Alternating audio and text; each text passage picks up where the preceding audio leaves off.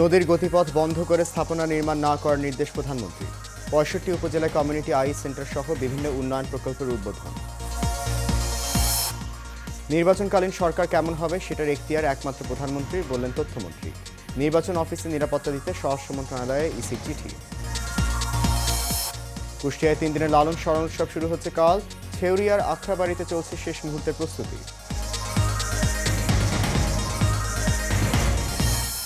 এবং ইসরায়েলি আগ্রাসনে ফিলিস্তিনে নিহতের সংখ্যা বেড়ে দু হাজার তিনশো তিরাশি জন। পানি, বিদ্যুৎ ও জ্বালানি সংকটে মানবিক বিপর্যয়ে গাজা উপত্যকা।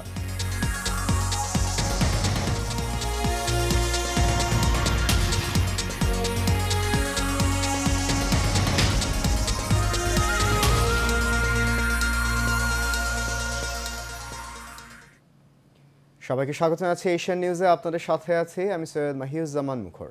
শুনছেন বিআরবি কেবল ইন্ডাস্ট্রিজ লিমিটেড সংবাদ শিরোনাম, যাচ্ছে পুরো খবরে। চিকিৎসার ক্ষেত্রে কোনো রকম অবহেলা না করার আহ্বান জানিয়েছেন প্রধানমন্ত্রী শেখ হাসিনা। সকালে স্বাস্থ্য ও পরিবার কল্যাণ মন্ত্রণালয়ের অধীনে পঁয়ষট্টিটি উপজেলা স্বাস্থ্য কমপ্লেক্সে স্থাপিত আই কেয়ার সেন্টারের উদ্বোধন অনুষ্ঠানে এই আহ্বান জানান তিনি।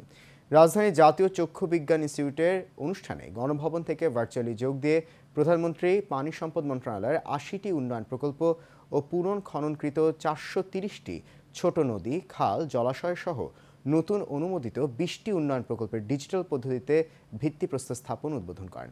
বিস্তারিত চাচ্ছেন বাতমি বিপ্লব।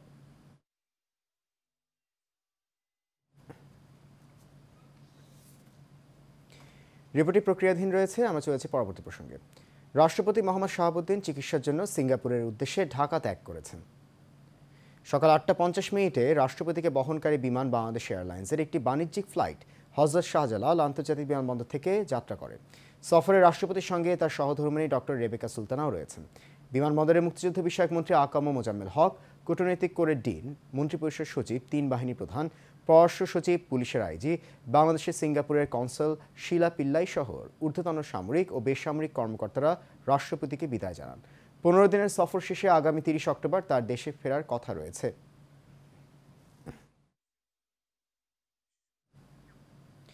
তথ্যমন্ত্রী ডক্টর হাসান মাহমুদ বলেছেন, পশ্চিমা বিশ্ব ইসরায়েল ও বিএনপিকে সহযোগিতা করছে। মির্জা ফখরুল ইসলামরা কাকের মতো পশ্চিমাদের দিকে তাকিয়ে রয়েছে, তাদের ক্ষমতায় বসাবে বলে। দুপুরে সচিবালয়ে সাংবাদিকদের সঙ্গে আলাপকালে এই মন্তব্য করেন। মন্ত্রী বলেন, দেশের মালিক জনগণ। জনগণের উপর আস্থা না করে বিএনপি পশ্চিমাদের উপর আস্থা করছে। এক প্রশ্ন জবাবে তিনি আরও বলেন, নির্বাচনকালীন সরকার ছোট হবে না বড় হবে, সেটার এখতিয়ার একমাত্র প্রধানমন্ত্রীর হাতে। এতে সাংবিধানিক কোনো বাধ্যবাধকতা নেই।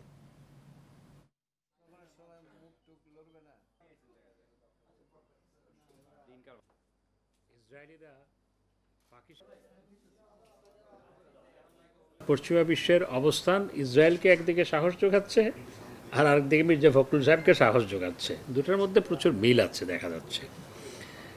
আসলে তারা জনগণের উপর কোনো আস্থা নাই।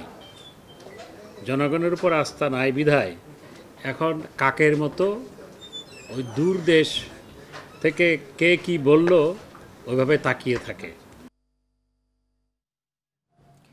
সংবাদের শুরুতে যেমনটি বলছিলাম যে চিকিৎসার ক্ষেত্রে কোনো রকম অবহেলা না করার আহ্বান জানিয়েছেন প্রধানমন্ত্রী শেখ হাসিনা।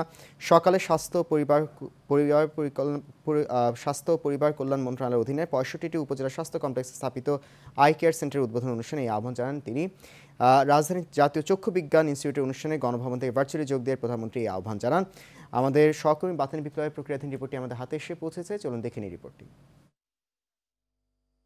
উনিশশো ছিয়ানব্বই থেকে দু হাজার এক সাল পর্যন্ত আওয়ামী লীগ সরকার ক্ষমতায় থাকা অবস্থায় মানুষের ঘরের কাছে স্বাস্থ্যসেবা পৌঁছে দিতে কমিউনিটি ক্লিনিক নির্মাণের পদক্ষেপ নেয়। সে সময় প্রায় দশ হাজার কমিউনিটি ক্লিনিক তৈরি করে সরকার। বিএনপি জামায়াত জোট ক্ষমতায় আসার পর কমিউনিটি ক্লিনিক বন্ধ করে দেয়।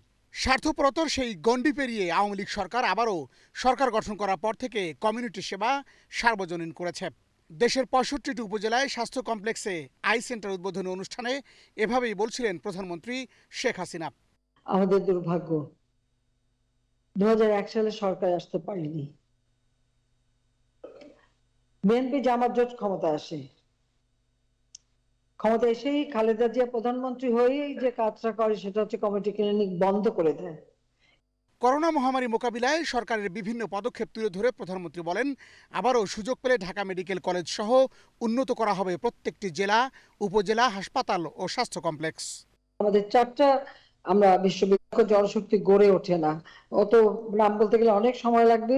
আমার মনে হয় এই স্বাস্থ্যের সঙ্গে যারা সম্পৃক্ত আছেন, তারা একটু খুঁজে দেখতে পারেন যে ছিয়ানব্বই সাল থেকে এই পর্যন্ত কতগুলি বিশেষায়িত ইনস্টিটিউট আমরা গড়ে তুলেছি।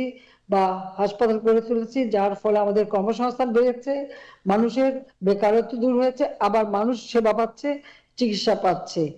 আমরা এবং কি আমাদের ঢাকা মেডিকেল কলেজ, তার জন্য একটা পরিকল্পনা আমার আছে পানি সম্পদ সংরক্ষণের আহ্বান জানিয়ে প্রধানমন্ত্রী বলেন, প্রত্যেককে বিদ্যুৎ ব্যবহারে সাশ্রয়ী হতে হবে, কারণ অনেক ভর্তুকি দিতে হয় বিদ্যুৎ উৎপাদনে।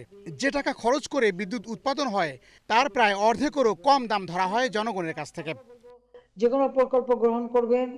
প্রতিটি জায়গায় যেন পানি নিষ্কাশনের ব্যবস্থা, পানি সংরক্ষণের ব্যবস্থা, বৃষ্টির পানি সংরক্ষণের ব্যবস্থাটা থাকে। কারণ এই সম্পদটা যেন হেলায় হারাবেন না। সেদিকে লক্ষ্য রাখবেন। সেভাবে আমরা দেশকে এগিয়ে নিয়ে যাচ্ছি।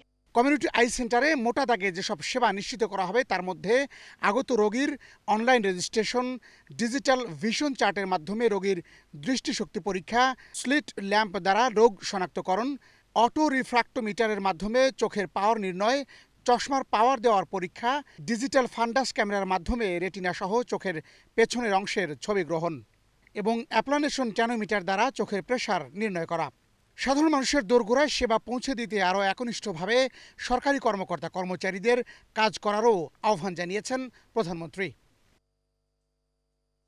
Baten Biplob, Asian Television, Dhaka. জাতীয় নির্বাচন সামনে রেখে সারা দেশের নির্বাচন অফিসে নিরাপত্তা দিতে স্বরাষ্ট্র মন্ত্রণালয় চিঠি দিয়েছে নির্বাচন কমিশন।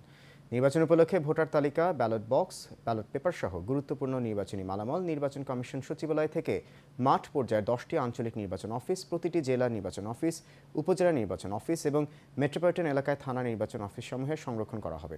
নির্বাচনের পূর্বে এই সকল অফিসের নিরাপত্তা হুমকির মধ্যে পড়তে পারে, মর্মে শঙ্কা করা হচ্ছে। তাই নির্বাচন কমিশন সচিবালয়ের মাঠ পর্যায়ের প্রতিটি কার্যালয়ে, বিশেষ করে আঞ্চলিক নির্বাচন অফিস, জেলা নির্বাচন অফিস, উপজেলা নির্বাচন অফিস ও থানা নির্বাচন অফিস সমূহের এখন হতে সার্বক্ষণিক নিরাপত্তা নিশ্চিত করার প্রয়োজনীয় ব্যবস্থা গ্রহণের জন্য স্বরাষ্ট্র মন্ত্রণালয় একটি চিঠি দিয়েছে ইসি।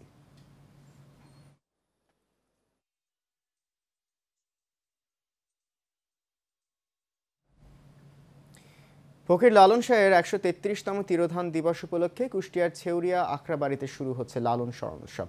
ইতিমধ্যে মাজার প্রাঙ্গনে এসে উপস্থিত হয়েছে ভক্ত, সাধু, লালন অনুসারী আর দর্শনার্থীরা। আগামীকাল আনুষ্ঠানিকভাবে এর উদ্বোধন করা হবে। চলবে উনিশ অক্টোবর পর্যন্ত। কুষ্টিয়া থেকে হাসিবুর রহমান রিজু রিপোর্ট, জানাচ্ছেন অনুকৃতি আদিত্য।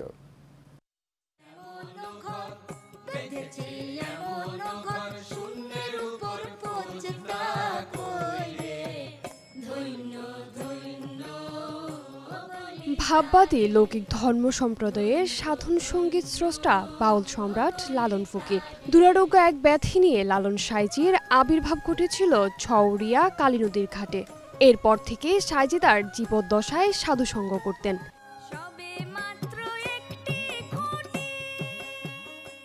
সাইজি দেহত্যাগের পর তার স্মৃতিকে ধরে রাখার জন্য এবং মর্মীবাণীকে প্রচার করার জন্য তার অনুসারীরা এই দিনটিতে তাকে বিশেষভাবে স্মরণ করেন। পয়লা কার্তিক হয় তিরোধন দিবস এবং ফাল্গুনের ডোল পূর্ণিমাতে হয় স্মরণ উৎসব। একশো তেত্রিশতম তিরোধান দিবস উনি এই দিন দেহ রেখেছেন। সে উপলক্ষে আমরা তাকে স্মরণ করি। সাধুগুরু আবির্ভাব হয় এখানে আমরা সব গুরু দর্শন হয়। বাউল সম্রাটের তিরোধান দিবস উপলক্ষে আয়োজিত এই স্মরণ উৎসবকে কেন্দ্র করে একদিকে চলছে শিল্পীদের গান পরিবেশনের প্রস্তুতি, অপরদিকে সাধুগুরুরা ব্যস্ত সময় পার করছেন তার প্রাণপুরুষকে স্মরণ করতে।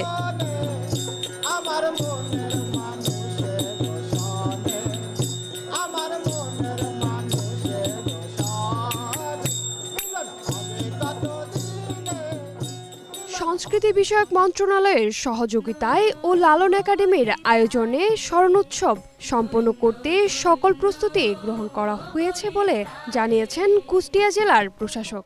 আমরা ইতোমধ্যে জেলা পর্যায়ের একটি প্রস্তুতিমূলক সভা করেছি এবং বিশেষ করে এটির নিরাপত্তাকে গুরুত্ব দিয়ে আমরা জেলা কোর কমিটির সভাও আহ্বান করেছি। সেখানেও আমাদের নিরাপত্তাজনিত যে ধরনের প্রস্তুতিমূলক পদক্ষেপ নেওয়ার কথা সকল প্রস্তুতি আমরা নিয়েছি।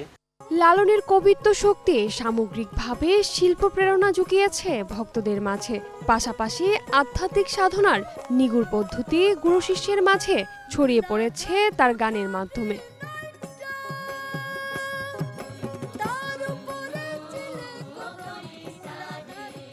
Anukriti Aditya, Asian Television. Pirojpur এক ও দুই সংসদীয় আসনের সীমানা পুনর্নির্ধারণ বৈধ বলে হাইকোর্টের রায় বহাল রেখেছেন আপিল বিভাগ। আগামী জাতীয় নির্বাচন হবে নতুন সীমানায়। আজ এই প্রধান বিচারপতির নেতৃত্বাধীন ছয় সদস্য আপিল বেঞ্চ এই আদেশ দেন। এ সময় আদালতে আবেদনের পক্ষে ছিলেন জ্যেষ্ঠ আইনজীবী M K Rahman, advocate Saeed Ahmed Raja. এর আগে গত তিন সেপ্টেম্বর মৎস্য ও প্রাণী সম্পদ মন্ত্রী সৌম্য রেজাউল করিমের নির্বাচনী আসন পিরোজপুর এক ও সাবেক মন্ত্রী আনোয়ার হোসেন মঞ্জুর নির্বাচনী আসন পিরোজপুর দুই আসনের সীমানার পুনর্নির্ধারণের বৈধতা নিয়ে জারি করা রুল খারিজ করে দেন হাইকোর্ট। এর আগে পিরোজপুর এক ও পিরোজপুর দুই আসনের সীমানা পুনর্নির্ধারণের বৈধতা চ্যালেঞ্জ করে হাইকোর্টে রিট করেন পিরোজপুরের কাউখালীর বাসিন্দা আবু সাইদ মিয়া, ভান্ডারিয়া পৌরসভার বাসিন্দা মোহাম্মদ কায়কোবাদ, মোহাম্মদ আহসানুল কিবরিয়া, ইন্দুরকানী উপজেলার বাসিন্দা আক্তারুজ্জামান, নেসারাবাদ উপজেলার বাসিন্দা নাজমুল ইসলাম শরীফ।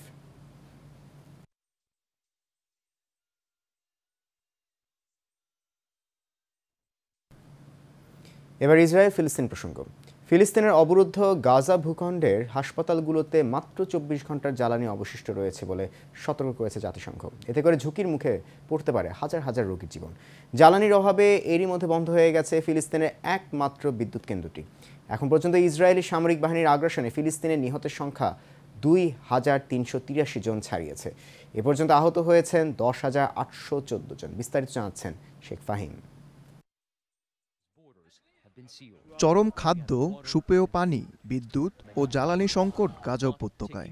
তার উপর ইসরায়েলের হুমকিতে ছাড়তে হচ্ছে ঘরবাড়ি, জন্মভূমি। উত্তর থেকে দক্ষিণাঞ্চলের দিকে সরে যাচ্ছেন হাজার হাজার মানুষ। চলমান যুদ্ধে কেবল গাজায় অন্তত দশ লাখ মানুষ বাস্তুচ্যুত হয়েছেন বলে জানায় জাতিসংঘ। ঘরবাড়ি, রাস্তাঘাট তো রয়েছেই, এমনকি স্কুল আর হাসপাতালগুলো পরিণত হয়েছে অস্থায়ী আশ্রয় শিবিরে। এদিকে ফিলিস্তিনের স্বাস্থ্য মন্ত্রণালয় জানিয়েছে, ইসরায়েলি আগ্রাসনে নিহত ফিলিস্তিনিদের মধ্যে বেশিরভাগই নারী ও শিশু। আরও হাজারের বেশি মানুষ ধ্বংসস্তূপের নিচে চাপা পড়ে আছেন। তাদের উদ্ধারে নেই প্রয়োজনীয় সরঞ্জাম বা লোকবল। খালি হাতেই মাটি খুঁড়ছেন স্বজনরা। ফিলিস্তিনি ভূখণ্ডে ইসরায়েলি বাহিনীর সম্ভাব্য স্থল অভিযানের প্রেক্ষিতে যুক্তরাষ্ট্রের প্রেসিডেন্ট জো বাইডেন হুঁশিয়ারি দিয়ে বলেছেন ইসরায়েল যদি গাজা দখল করে নেয় তবে তা হবে একটি বড় ধরনের ভুল। Sheikh Fahim Asian Television.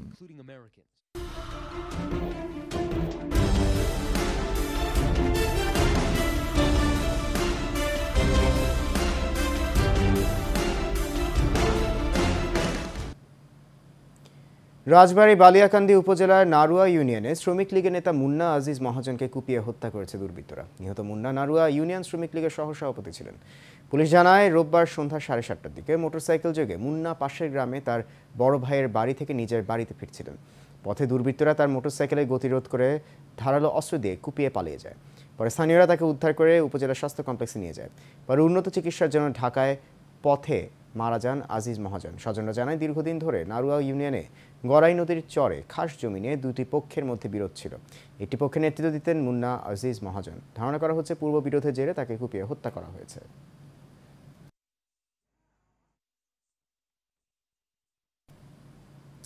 ঝিনাইদহের শৈলকুপায় আওয়ামী লীগের দুপক্ষের দ্বন্দ্বের জেরে হাবিবুর রহমান রিপন নামে ইউপি সদস্যকে পিটিয়ে হত্যা করেছে প্রতিপক্ষরা।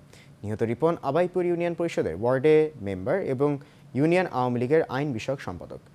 ভোর রাত তিনটার দিকে উপজেলার আবাইপুর গ্রামে এই ঘটনা ঘটে। পুলিশ জানায়, উপজেলার আবাইপুর ইউনিয়নে আধিপত্য বিস্তার নিয়ে গত চোদ্দ অক্টোবর রিপন মেম্বারের সমর্থক মুশতাক হোসেনকে পিটিয়ে আহত করে স্থানীয় রঞ্জু হোসেনের সমর্থকরা। এই ঘটনার প্রতিবাদে রিপন মেম্বারের সমর্থকরা রঞ্জু হোসেনের সমর্থক টেটন হোসেনকে পিটিয়ে আহত করে। এ নিয়ে রোববার রাতে দুপক্ষের বিরোধ মীমাংসায় কয়েক দফা শৈলকুপা থানায় বৈঠক হলেও তা অমীমাংসিত থেকে যায়। রিপোর্ট মেম্বার সহ কয়েকজন থানা থেকে বাড়ি ফিরছিল। পথে আবাইপুর বাজারে পৌঁছালে প্রতিপক্ষ তাদের পিটে গুরুতর আহত করে। পরে তাদের উদ্ধার করে সদর হাসপাতালে নিলে হাবিবুর রহমান রিপনকে মৃত ঘোষণা করে চিকিৎসক। যশোরে মনিরামপুরে দুর্বৃত্তদের গুলিতে উদয় শঙ্কর বিশ্বাস নামে এক যুবলীগের সভাপতি নিহত হয়েছেন। সকালে বাড়ির সামনে দুর্বৃত্তরা তাকে গুলি করে পালিয়ে যায়। পরে খুলনা দুশো পঞ্চাশ শয্যা হাসপাতালে নেয়ার পথে মারা যান তিনি। নিহত উদয় শঙ্কর বিশ্বাস উপজেলার পাঁচাকুড়ি গ্রামের রঞ্জিত বিশ্বাসের ছেলে। নেহালপুর ইউনিয়ন যুবলীগের সভাপতি ও নেহালপুর স্কুল অ্যান্ড কলেজের সংস্কৃতি বিষয়ে সহ প্রভাষক ছিলেন। পুলিশ জানায় সকালে টেকেরঘাট বাজার থেকে মোটরসাইকেল চালিয়ে বাড়ি ফিরছিলেন উদয় শঙ্কর। বাড়ির কাছাকাছি পৌঁছলে দুর্বৃত্তরা তাকে গুলি করে পালিয়ে যায়। পরে স্বজনরা তাকে উদ্ধার করে খুলনা হাসপাতালে নিলে পথে মারা যান তিনি। কি কারণে এই হত্যাকাণ্ডটি সংঘটিত হয়েছে এটা উদ্ঘাটনের জন্য আমাদের মনিরামপুর থানা পুলিশের পাশাপাশি জেলা গোয়েন্দা সংস্থা এবং অন্যান্য পিবিআই সহ আমরা সকলেই কাজ করছি। টাঙ্গাইলের ঘাটাইলে শারদীয় দুর্গা উৎসব দু হাজার তেইশ উপলক্ষে একাশিটি মন্দির ও পূজা মণ্ডপে তিন লক্ষাধিক টাকার আর্থিক অনুদান প্রদান করা হয়েছে। রবিবার বিকেলে টাঙ্গাইলের ঘাটাইলে Alok health care and foundation হাসপাতালের উদ্যোগে উপজেলার প্রত্যেক পূজা মণ্ডপের সভাপতি ও সম্পাদকের হাতে এই অনুদান তুলে দেন টাঙ্গাইল তিন আসনের বাংলাদেশ আওয়ামী লীগের নৌকার মনোনয়ন প্রত্যাশী ঘাটাইল উপজেলা আওয়ামী লীগের সহসভাপতি ও Alok health care and foundation হাসপাতালের ব্যবস্থাপনা পরিচালক মোহাম্মদ লোকমান হোসেন। এ সময় ঘাটাইল উপজেলা আওয়ামী লীগের সহসভাপতি মোহাম্মদ মুজিবুর রহমান, ঘাটাইল উপজেলা পূজা উদযাপন পরিষদের সভাপতি অধীর চন্দ্র সাহা সহ আরও অনেকে উপস্থিত ছিলেন।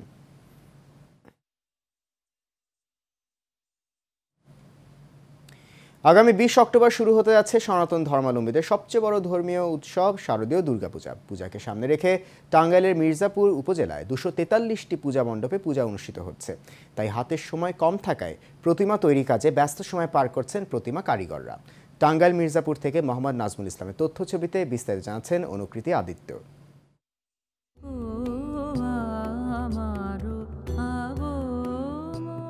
হিন্দু সম্প্রদায়ের সবচেয়ে বড় উৎসব দুর্গাপূজাকে কেন্দ্র করে চলছে টাঙ্গাইল মির্জাপুরে প্রতিমা তৈরির কাজ। বিশ অক্টোবর ষষ্ঠী পূজার মধ্য দিয়ে শুরু হবে শারদ উৎসব।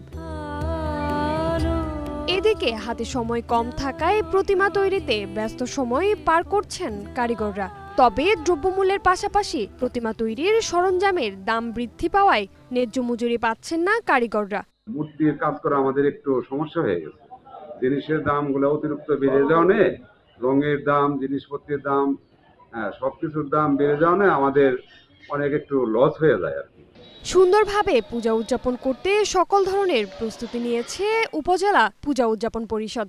ওনারা সার্বিকভাবে আমাদেরকে সহযোগিতা করতেছেন এবং আমরা আশা করি যে মির্জাপুরে সুষ্ঠুভাবে সুন্দরভাবে আমরা এই পূজা করতে পারব। সকলের সার্বিক সহযোগিতায় এবং পরম করুণাময় স্রষ্টার আশীর্বাদে এবছরও আমরা শান্তিপূর্ণভাবে আমাদের শারদীয় দুর্গাপূজা উৎসব সম্পন্ন করতে পারব। দুর্গাপূজাকে ঘিরে পূজা মণ্ডপগুলোতে সার্বিক নিরাপত্তা ব্যবস্থা নেওয়া হয়েছে বলে জানান উপজেলা প্রশাসন। কাউন্সিলরকে নির্দেশনা দেওয়া হয়েছে তারা সর্বক্ষণই যেন পূজা মণ্ডপগুলো আহ, পরিদর্শন করে এবং যে কোনো বিষয়ে আমাকে অবগত করলে আমি অবশ্যই সেদিকে সহযোগিতা করব। পূজা মণ্ডপে যাতে কোনো ধরনের অনাকাঙ্ক্ষিত ঘটনা না ঘটে সে ব্যাপারে আমরা সর্বদা সতর্ক রয়েছি। ব্যাপক উৎসাহ উদ্দীপনার মধ্য দিয়ে দেবী দুর্গাকে বরণ করে নেয়ার অপেক্ষায় দিন গুনছেন মির্জাপুরবাসী। Anukriti Aditya, Asian Television. কুড়িগ্রামে ভুরুঙ্গামারিতে খামার বেলদহ সরকারি প্রাথমিক বিদ্যালয় মাঠে টিন শেড ঘরে চলছে ক্যাডেট মাদ্রাসার পাঠদান কার্যক্রম। স্থানীয়দের অভিযোগ, স্কুলের হাজিরা খাতায় নাম থাকা সত্ত্বেও শিক্ষকদের অবহেলায় বিদ্যালয়ে আসছে না শিক্ষার্থীরা। ফলে শিক্ষার্থীর অভাবে খুঁড়িয়ে খুঁড়িয়ে চলছে সরকারি প্রাথমিক বিদ্যালয় পাঠদান। প্রতিনিধি মিজানুর রহমান মিন্টুর পাঠানো তথ্য ছবিতে বিস্তারিত জানছেন আরভি ইসলাম হিমু। কুড়িগ্রামের ভুরুঙ্গামারি পাইকেটছড়া ইউনিয়নের খামারবেলদহ সরকারি প্রাথমিক বিদ্যালয়ের মাঠের একপাশে গড়ে উঠেছে H R M Mohammadia cadet Madrasa. স্থানীয়দের অভিযোগ বিদ্যালয়ের মাঠে মাদ্রাসা নির্মাণ করায় স্কুলের হাজিরা খাতায় নাম থাকা সত্ত্বেও শিক্ষার্থীরা আসেন না বিদ্যালয়ে। বেশিরভাগ শিক্ষার্থী যাচ্ছেন মাদ্রাসায়। স্কুলের নিয়ম হইতেছে ধরো দশটায়। যদি মাস্টার যদি দেখা যায় আসে এগারোটায় এইরকম করে আসলে তো পড়াশোনা একটু কমে হবে। কালকে বারোটা নাইমে স্কুল ছুটি দশ শেষ। তাহলে ওইরকম কি কি পড়াশোনা হইবে বাচ্চা? আপনার সাহেব দিছি ঠিক মতো লেখাপড়া না হলে সব মানুষ করা লাগবে না। স্কুলেও পড়ে ওরা মাদ্রাসাও পড়ে। ওরা নিয়মিত স্কুল আসে না।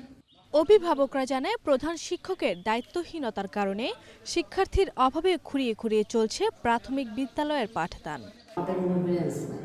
আমি বলি যে স্যার এখানে ব্রেঞ্চ নাই। এই যে ব্রেঞ্চ তো বাচ্চাদের রিল্যাক্সের জন্য অনেক সরকার আমাদেরকে ব্রেঞ্চ আপনি ব্রেঞ্চ অফিসে রাখছেন? বিছানা স্যার মাদ্রাসা তারপর এই যে কিন্ডার গার্ডেন স্কুলগুলো ওখানেই তো এখান থেকেই ওখানেই চলে গেছে ছাত্রছাত্রীরা। এর আগে তো অভিভাবকদের সঙ্গে আমরা কথা বলেছি তারপরে ওনারা দিছে আশ্বাস দিছে যে আসলে আমাদের বাচ্চারা যাবে এখন থেকে। যদিও প্রধান শিক্ষক সাইফুল রহমানের দাবি বিদ্যালয় মাঠে ক্যান্ডিডেট মাদ্রাসার বিষয়ে উপজেলা প্রশাসনকে জানিয়েছেন তিনি। এদিকে বিদ্যালয়ের নানা অনিয়মের বিষয়ে তদন্ত করে বিভাগীয় ব্যবস্থা নেওয়ার আশ্বাস জেলা বিভাগের। ব্যক্তিগতভাবে নিজে পরিদর্শন করব তাদের এই ধরনের ত্রুটি থাকলে আমি বিভাগীয় ব্যবস্থা গ্রহণ করব। কোমলমতি শিক্ষার্থীদের স্কুলমুখী করতে অভিভাবকদের পাশাপাশি শিক্ষকদেরও আরও উদ্যোগী হওয়ার আহ্বান সচেতন মহলের। R Islam Himu Asian Television. শেষ করব এশিয়ান নিউজ তার আগে বিআরবি কেবল ইন্ডাস্ট্রিজ লিমিটেড সংবাদ শিরোনামগুলো জানিয়ে দিচ্ছে আরও একবার।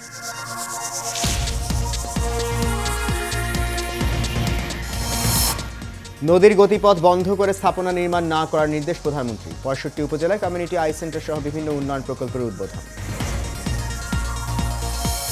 নির্বাচনকালীন সরকার কেমন হবে সেটার এখতিয়ার একমাত্র প্রধানমন্ত্রী বললেন তথ্যমন্ত্রী।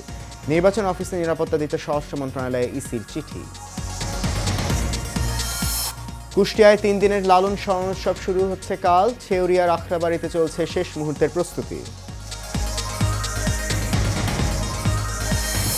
এবং ইসরায়েলি আগ্রাসনে ফিলিস্তিনি নিহতের সংখ্যা বেড়ে দু জন। পানি, বিদ্যুৎ জ্বালানি সংকটের মানবিক বিপর্যয়ে গাজা উপত্যকা।